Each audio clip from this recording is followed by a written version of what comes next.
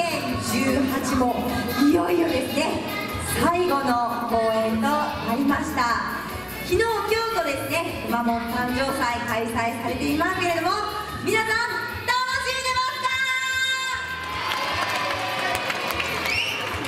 まだまだ楽しむ元気はありますか？さあということでですね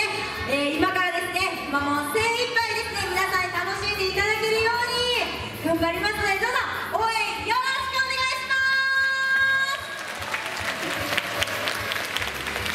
よろしくお願いいたしますそれではお姉さんたちもくまモンも頑張って盛り上げてくださいね。さあその盛り上がるステージたくさんですね。皆さんに楽しんでいただけるような内容を。